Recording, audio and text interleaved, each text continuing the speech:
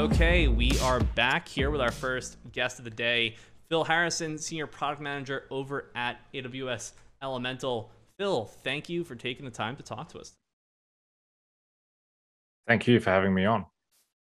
Yeah, so uh, we've alluded to it. It's off in the title, uh, but the subject of today's discussion here is AWS Elemental MediaTailor Channel Assembly. So I know a bit about this feature from when we spoke last, but I think it'd probably be better to, to start with the problem that it's solving. Uh, the media services certainly solve yep. a, a, large set of the problems. Why don't you walk me through the user journey? Someone that might start to get uh, excited about this before they even know what it does.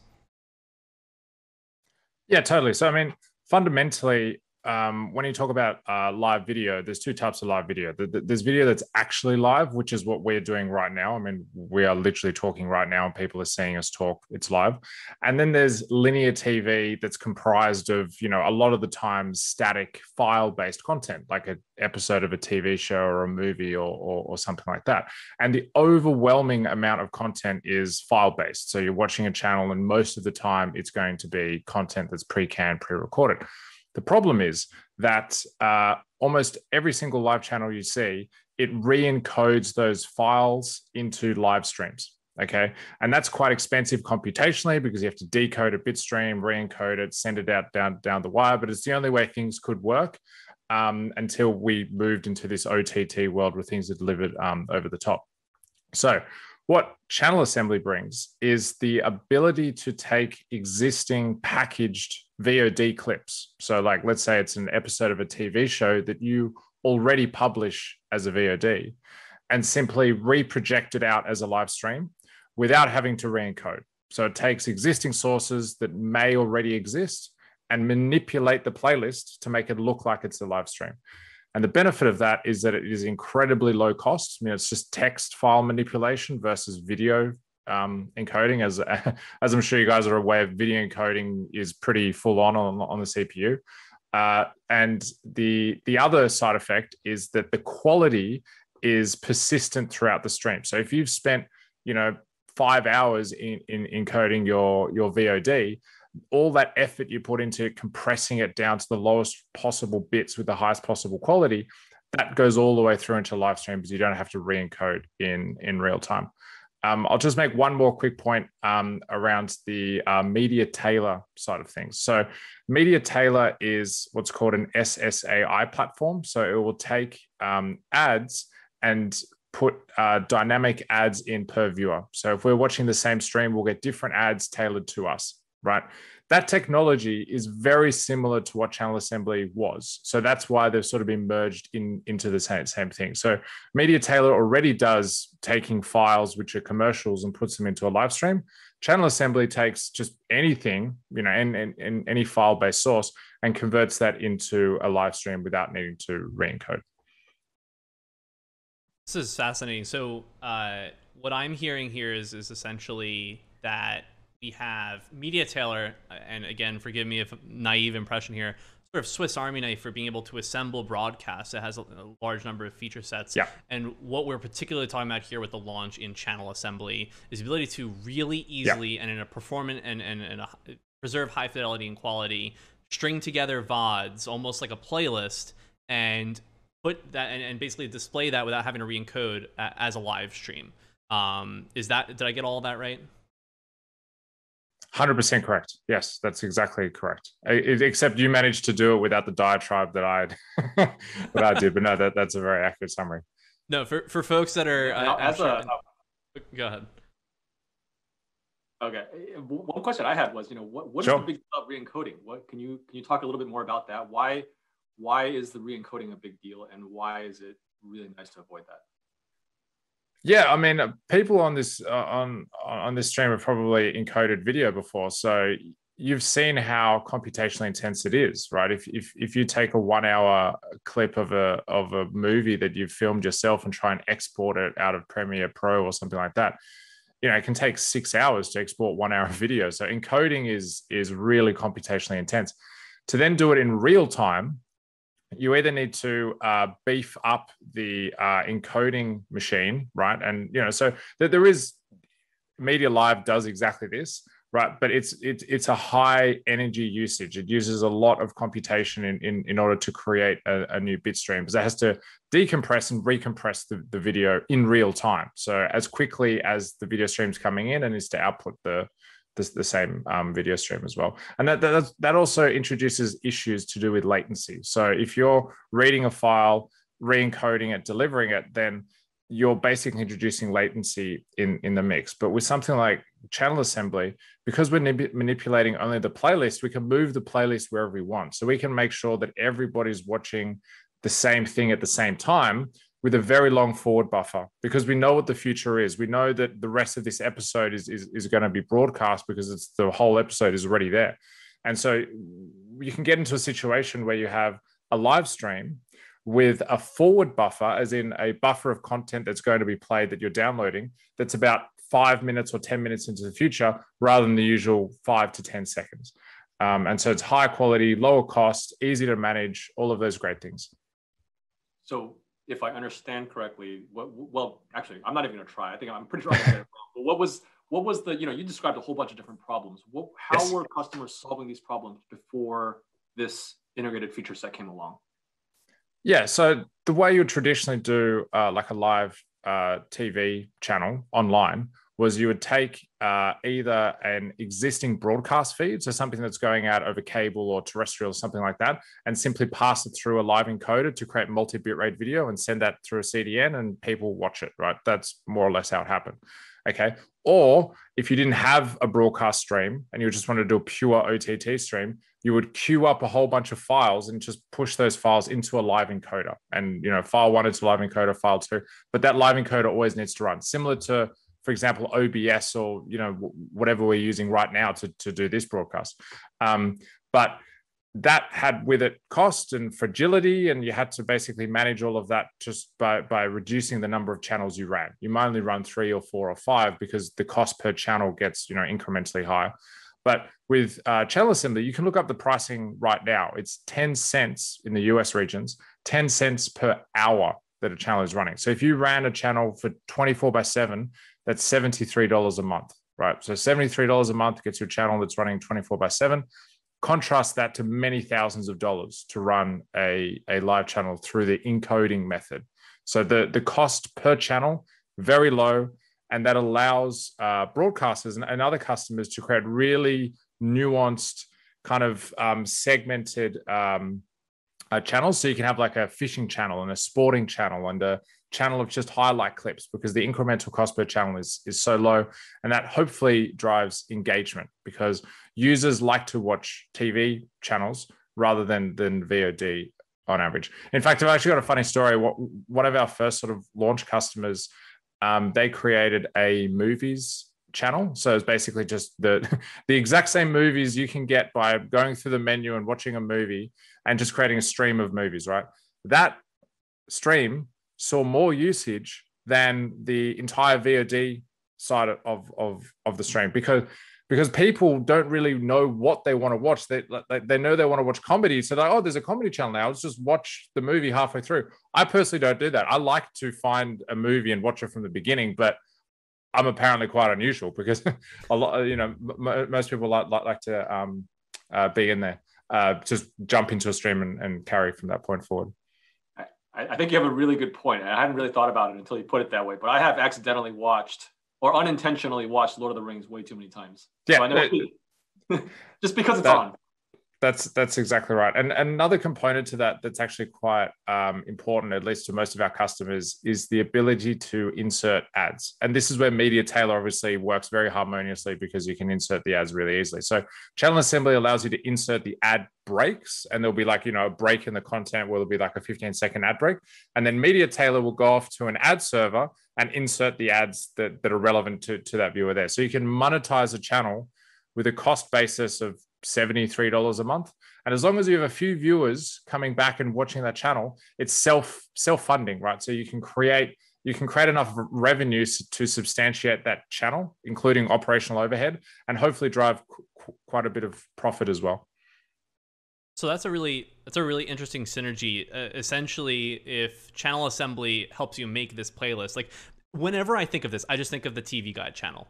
Like that's that's all I think of. It's like each Totally. row is a different channel, and then all of the different shows or episodes that are on there sequentially are essentially queued up on-demand content. You know, and and obviously if it was a live news Yeah. network, it would just give you some placeholder that says what they're going to talk about, and that's a little different.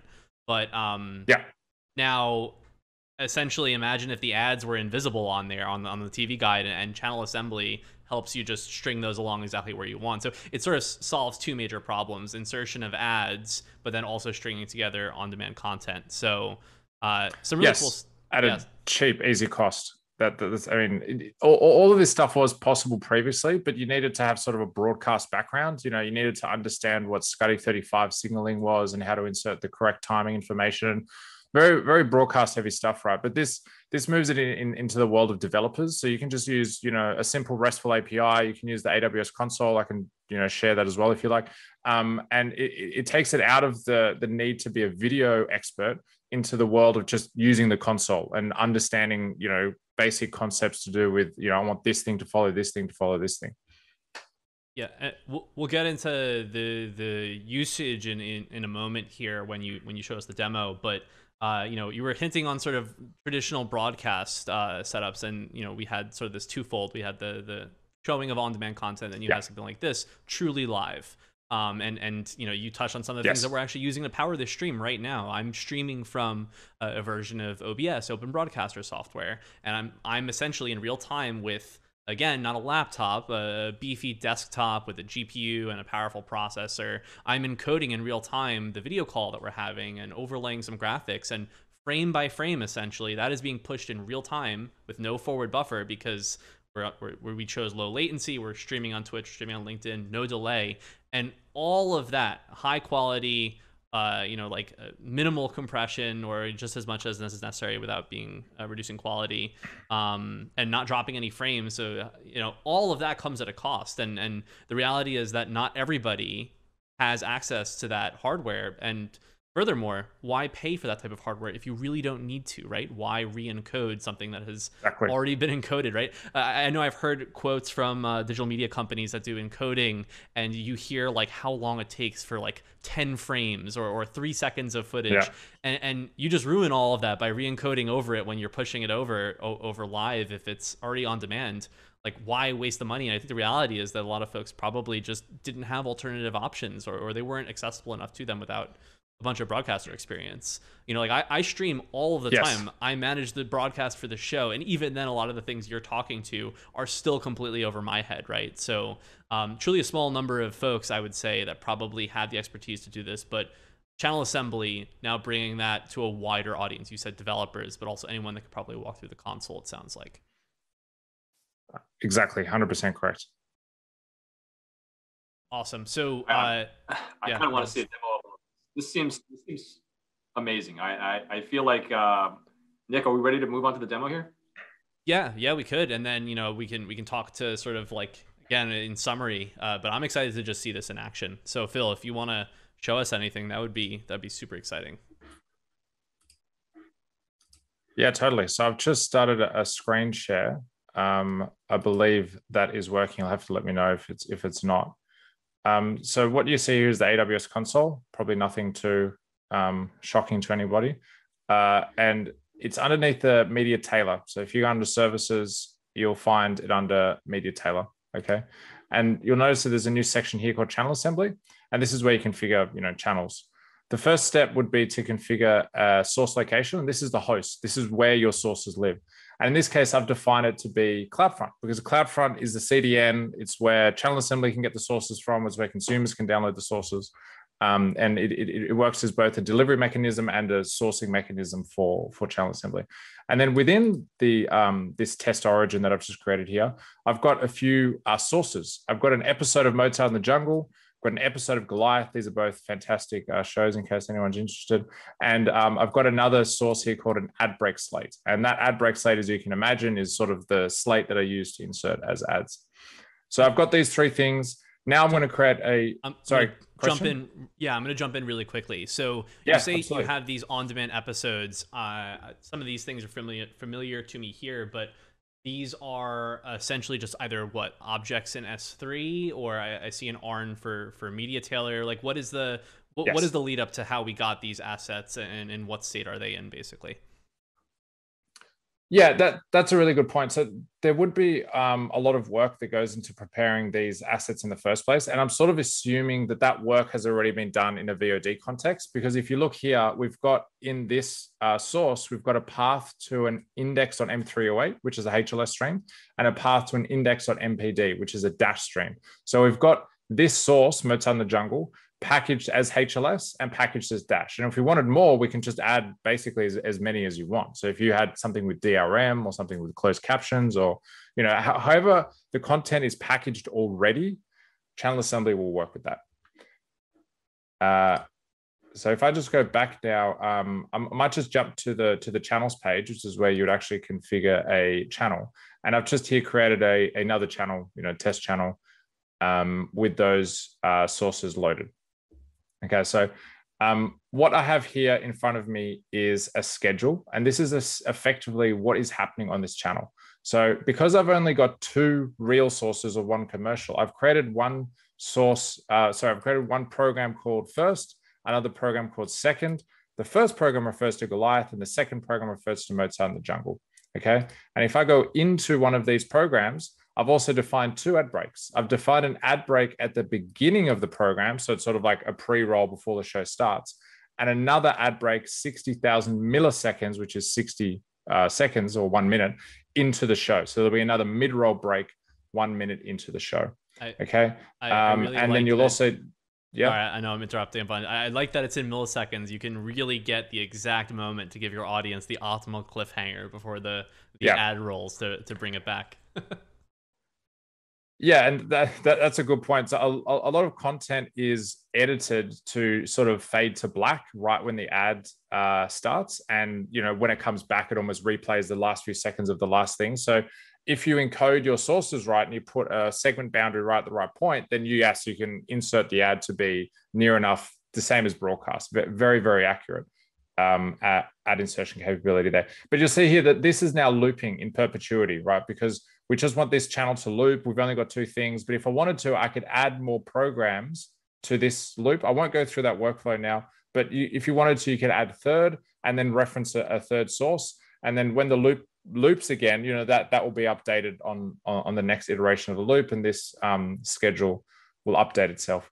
Now, I've also got the um, setting here to basically enable the channel, which, you know, starts the channel. You only build once the channel is running. So if I stop this channel, It'll take about a few minutes, and then you know there'll be 404s on, on on this channel.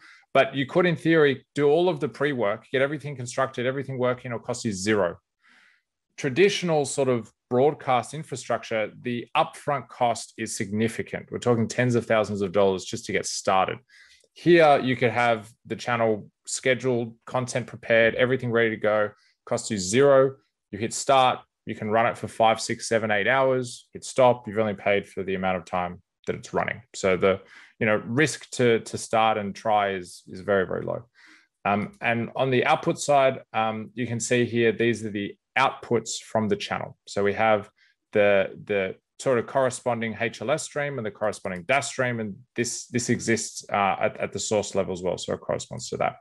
Finally, we can also take this URL, which is the output from channel assembly, and use it as the input to the MediaTailor SSAI profile. So under this profile, you can see here, I've taken in the video content source, which is the channel assembly output, and basically wrapped an SSAI profile over the top and then integrated with a dummy ad server that responds with random ads. So if I was to share the stream URL to people, each individual viewer would get their own set of ads that corresponds to what the ad server told us to do. Um, and I can even show you the stream. Uh, I don't know how good this is going to look on on a screen share, but um, so we're in an ad at the moment. Um, when we when we go back to the content, and by the way, this looks incredibly high quality on my screen. It probably doesn't look too great for everybody else, but because it's, it's reusing the VOD encode. So this is just an episode of the content. Oh, sorry, I paused it there. Um, uh, and you can see here it's playing as as a live broadcast. So people are watching this in real time as if it was live television, although it is very much a file. Okay, and you can see here that this feels like completely live television to me. And an ad break will happen after a minute, and you know then it'll transition to the next show a minute um, after that. So I could probably even put the uh, link into the chat if people want to uh, be so bold as to attempt it themselves. Um, but I might need to just get some help with that because I'm not on the Twitch uh, links right now. Yeah, if you just uh, send that over Slack to one of us, maybe we'll be able to get that in. But yes, while you're sending that over, I'm gonna just try and recap everything that I heard because there's some like major talking points around the value here that I don't we haven't even covered yet, right? Like I talked before about it, it can be inaccessible to buy a bunch of hardware or to use that for broadcasting.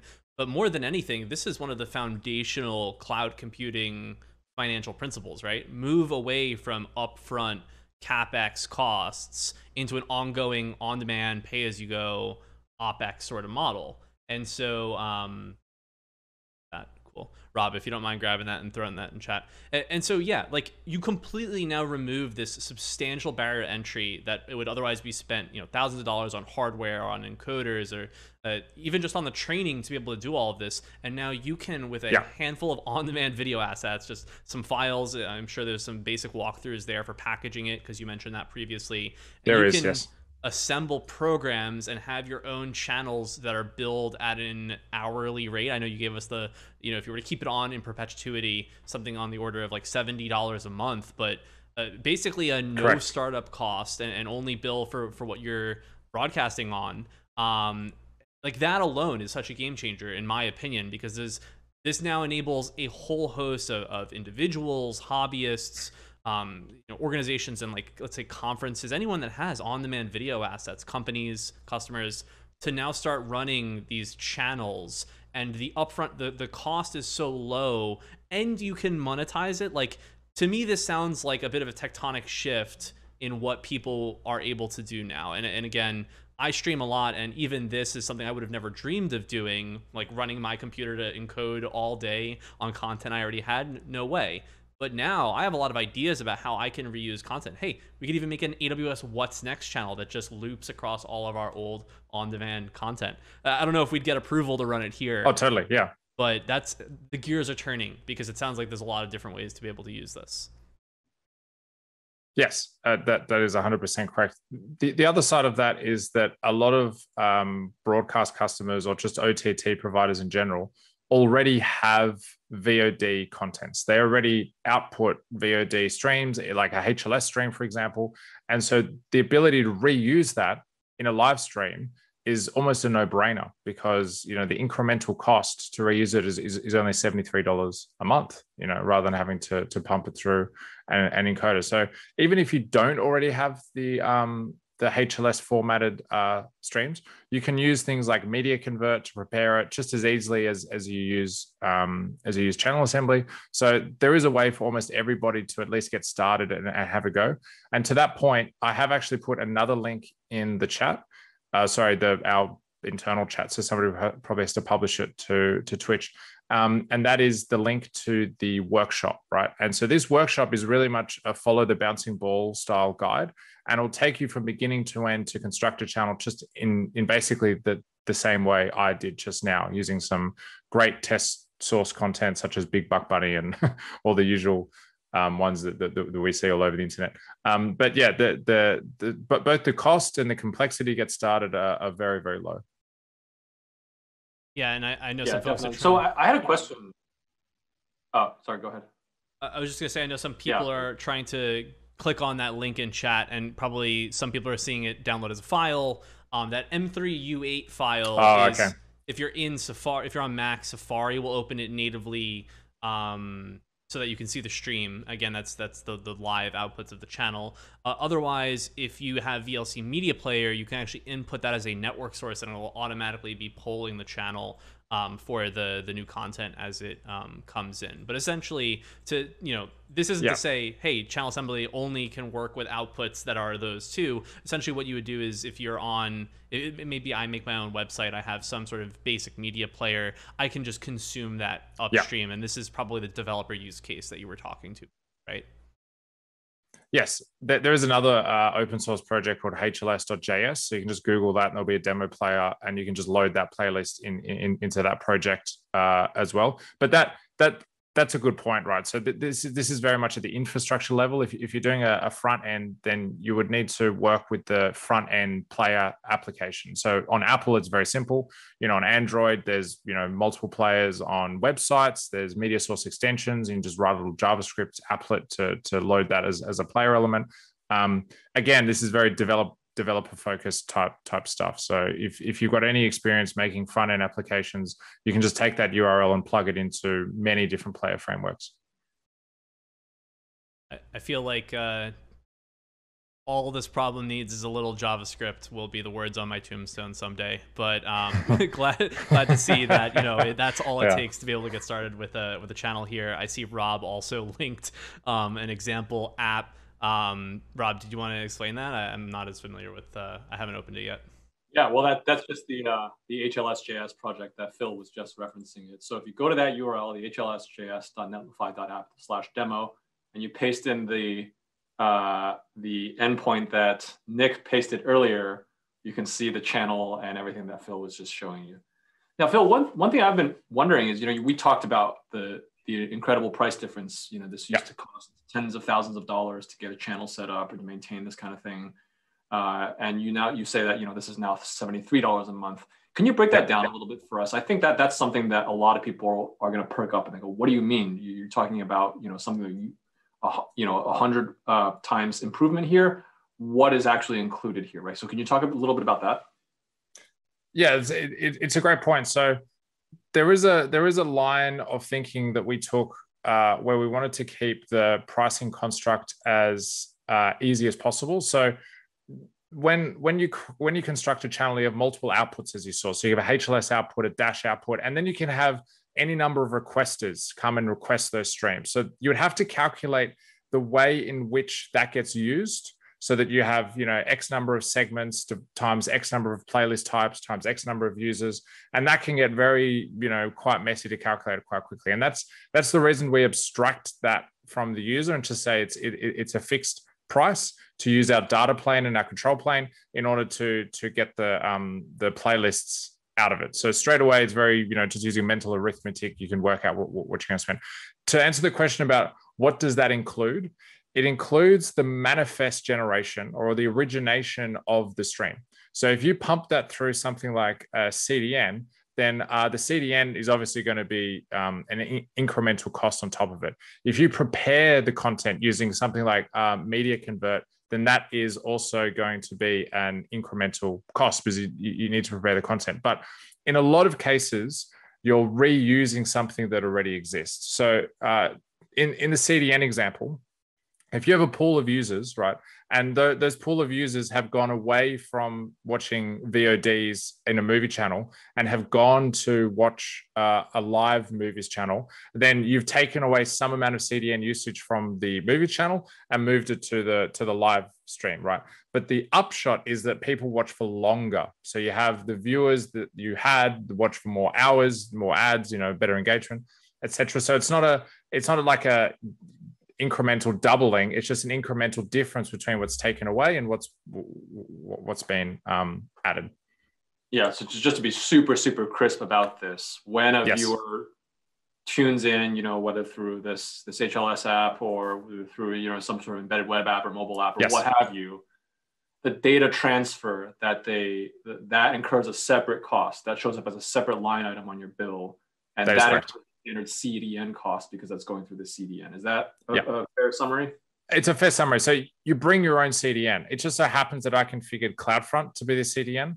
Uh, but there's no reason you could use any other service delivery mechanism. You know, there's other CDNs out there. If you wanted to, you could use it. Um, same goes for the source locations. I just used uh, S3 as an example, you can use your own, you know, packaging system if you wanted to. It's very much, um, you know, bring your own, build it how you want to build it in order to be able to to to reuse. But yes, that is absolutely true. Any any delivery costs, data egress is is is a is an egress um, charge as well. Yeah. So uh, again, you know, to just tie this together, just moving again towards paying for value. It, a lot of this conversation is enlightening in that there's just simply so many different computational network um, and delivery bottlenecks here in terms of, of how infrastructure should be provisioned to be right sized. And what's clear to me here is that by controlling the manifest and the, the origination, you can pay for only as many channels as you want and how long they're active and then with the the costs to delivery i.e like cloudfront or whatever your cdn is here then you're also only building, being billed effectively for people that are consuming that content. So you're really just paring down this this the fat and the question of you know yeah. what what is my like infrastructure burden and how do i right size that? And instead you're just entirely thinking how many channels do i want? How long are they going to be active for? And i'm only going to be billed for the amount of content people are essentially consuming on top of that as a consumption model. Um, and that to me makes it so much easier, especially with you know you said I think it's SS uh, AI is that server side ad insertion uh, to be able to then monetize yes, it, correct. and then you, are working all in unit like like unit economics. You have a common denominator, and it's it's it's how many channels you have and, and how many people are consuming, and then the unit economics to run an experiment or to even have entire channels just is so much more streamlined. You don't have to compare apples to the, yeah. you know, uh, like pineapples over on the other side. That's exactly right, Nick, and that, that that's really the intention behind the pricing model is is to make sure that it it it basically is easy to mentally work out what this is going to cost and how much it will cost moving forward. So even if my users go up by this, I have a you know a, a stable way of calculating my costs. Wonderful. Well, that's Phil- awesome. Well, I, I, learned so much in, in, all this. You know, Nick's actually heard me. You know, Phil, as you can tell, we do this video with we do quite a bit of uh, uh, video processing and, and production. Uh, yeah, I bet. Thankfully, thankfully, mostly Nick, because I ask such dumb questions that you'd be surprised. Like I, Nick's heard me complain about why we even need a video encoder at all. So the amount of the amount of education I've gotten out of this is already worthwhile. Just even though I'm a co-host here. See, I take solace in I appreciate that. Yeah, thanks. That my my GPU over here the electricity it costs to run that is offset by the heat it puts off that then offsets my heating bill. So there's there's a full closed loop here and unfortunately I, I, wish i didn't have to perform those calculations but uh, something like channel assembly if it, uh, seems to make that a lot easier. And i just have so many ideas for ways to now make use of on-demand content that i have right? Like you can post it into onto youtube or other places or you know wherever your on-demand content repository is but there's just something about the ability to make a live sort of curated channel and then show that in whatever way you want to your users. Again really interesting stats around increased engagement there. So i'm going to try and play around with all of that um, but i want to be fair to our next guest as well because they're hanging out backstage. So uh, again phil harrison senior product manager over on aws elemental talking to us about Media MediaTailor's new channel assembly feature launch. Uh, phil thank you again for joining us